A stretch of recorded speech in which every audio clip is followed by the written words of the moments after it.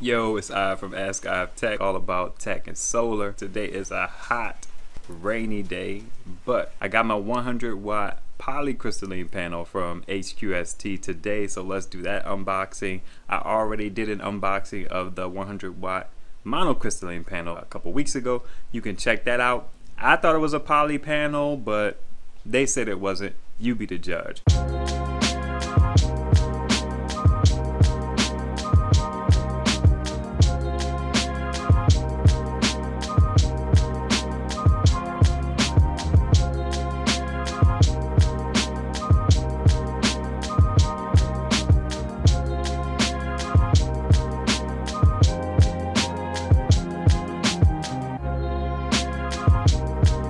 You tell me, do these panels look different to you? So I can see that this one has little bars in between it and this one does not. They look pretty much the same to me outside of one small difference, but you be the judge.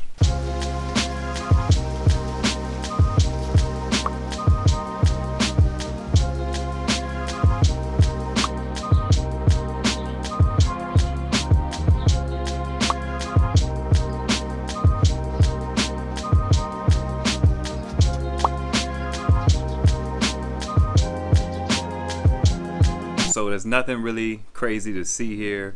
Um, the quality looks good. I have no complaints about these panels. I just wanted to make sure that I got what I was paying for. And I think I did. I'd like to say I'm done with buying panels for a while, but HQST has a 40 inch panel, 39 and some change to be exact, that they say weighs 10 pounds.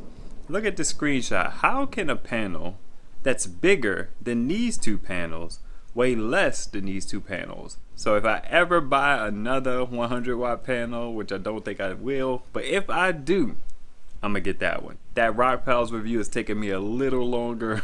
um, just trying to get it right, man. I'm new to YouTube and I'm trying to provide value. If you enjoyed this video, hit the thumbs up button, drop a comment down below just to say what up.